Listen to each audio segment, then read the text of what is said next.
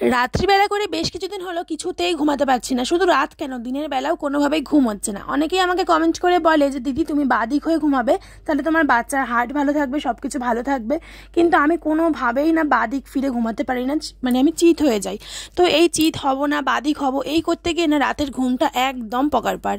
কিছুতেই আমার ঘুম হয় না, আর ঘুম হয় না বলে সারাটা দিন বিচ্ছিরি কাটে, আর মুখটাও কেমন যেন হয়ে যায়। ওই জন্য সকালবেলায় মুখের মধ্যে ফেস ওয়াশ লাগিয়ে ব্রাশ নিয়ে বেরিয়েছিলাম ব্রাশ করার জন্য। আর আজকে নাকি ঝড় হওয়ার কথা, সবাই কিন্তু সাবধানে থেকো। যেই ঝড় হওয়ার কথা মানে জানানো হয়েছে, তারপর থেকে দেখছি আজকে সকাল থেকে না আবহাওয়াটা একটু অন্যরকমই, হালকা হালকা হাওয়া টাইপেরও দিচ্ছে। যাই হোক, মুখ ধোয়া হয়ে গেছে, আর সকালে ঘুম থেকে উঠে প্রথম কাজ হচ্ছে ব্রাশ করা, তারপরে হচ্ছে মেডিসিন নিয়ে নেওয়া। এই থাইরয়েড আর একটা প্যান টোয়েন্টি গ্যাসের ওষুধ, এটা আমাকে খেতে হয়।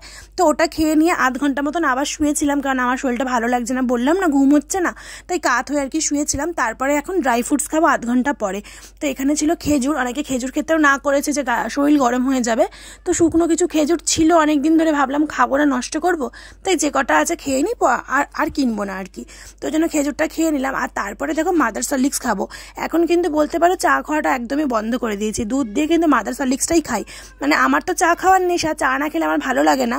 কিন্তু এখন সবাই যেহেতু বলছে চা খেতে নেই হ্যাঁ খাই, সপ্তাহে দু, তিনবার চা খাওয়া হয়। একদম বন্ধ করতে পারিনি। তবে রেগুলার যখন দুবেলা চা খেতাম, সেটাকে আমি একদম আউট করে দিয়েছি আমার লাইফ থেকে।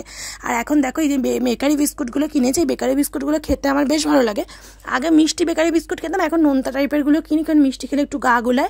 তার মধ্যে মাদার সলিক্সটাও মিষ্টি, আর দুধ তো খেতে ভালোই লাগে না। যাই হোক, ওটা খেয়ে নিলাম। আর আমার মায়ের চোখে না ইদানিং একটু সমস্যা হয়েছে পাওয়ার এসছে। তো ডাক্তার একটা ড্রপার দিয়েছে মায়ের চোখে দেওয়ার জন্য। তো এই ড্রপারটা আমি দিয়ে দিচ্ছি। মা রানাঘাটে নেত্রালোক বা নেত্রালয় কিছু একটা নাম আছে। সরি নেত্রদ্বীপ হয়তো। তো সেখানে দেখায়। আর সত্যি ওখানকার ট্রিটমেন্ট না ভীষণ ভালো।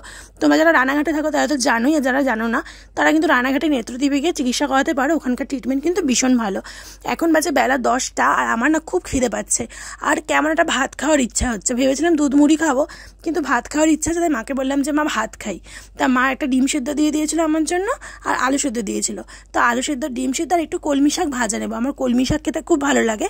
আর এই মাসে জ্যৈষ্ঠ মাসে নাকি লাউ শাক আর লাউ খেতে নেই। তা সেই জন্য আমি লাউ শাকটা অ্যাভয়েড করছি। তোমরা প্লিজ কমেন্ট করে জানিও তোর এই সময়টা লাউ শাক খাওয়া যাবে কি না আর যারা বলছে খেতে নেই কেন বলছে? মানে খেতে নেই কেন? সেটা যদি জানাও, তাহলে খুব উপকৃত হতাম। আর বেবির ওয়েট বাড়ানোর জন্য কি খেলে বেবির ওজন ভালো থাকবে সেটাও যদি একটু জানাও তাহলে খুব ভালো হয়। আর দেখতে পাচ্ছ বাইরের ওয়েদারটা কত চেঞ্জ হয়েছে, হালকা হালকা হাওয়া দিচ্ছিল। কালকে অবধিও প্রচুর গরম ছিল, কিন্তু আজকে থেকে দেখো দারুণ হাওয়া দিচ্ছে। মানে বোঝাই যাচ্ছে ঝড় সত্যিই আসবে। কিন্তু ঝড় জিনিসটা আমার খুব একটা পছন্দ না, কারণ মানুষের কিন্তু প্রচুর ক্ষতি হয়ে যায়। আর তোমাদেরকে তো দেখানোই হয়নি, কালকে আমার মা দিদা বাড়িতে গেছিল, আর দিদাকে নিয়ে গেছিল চোখের ডাক্তার দেখাতে, সেখান থেকে নিজেরও ট্রিটমেন্টটা করিয়ে এসছে মা। আর আমার জন্য দিদা কত কিছু পাঠিয়েছে, আমি না সত্যিই অনেক ভাগ্যবান, ঠাকুমা দিদাকে আমি এখনও পেয়েছি। দু বছর আগে আমার দাদুও ছিল, কিন্তু দু বছর আগে আমার বিয়ের সময় আমার দাদু তো মারা গেছেন, কিন্তু এখনও অবধি আমার ঠাকুমা আর দিদা, কিন্তু আছে আর দিদা না আমাকে খুব ভালোবাসে, আর যখনই মা যায় বা দিদা আসে, আমার জন্য কিন্তু প্রচুর প্রচুর অনেক কিছু নিয়ে আসে। আর জানো, আমার আর আমার দিদার জন্ম তারিখ, জন্ম ডেট সব কিছু এক। শুধুমাত্র মানে জন্ম ডেট আর জন্মবার সব কিছু এক। আর হচ্ছে শুধু শালটা আলাদা আর কি। আর এই দেখো, আমি লিচু খেতে ভালোবাসি বলে আমার জন্য এক গোছা লিচু দিয়ে দিয়েছে, কারণ আমি লিচু সব থেকে প্রিয় ফল হচ্ছে আমার লিচু।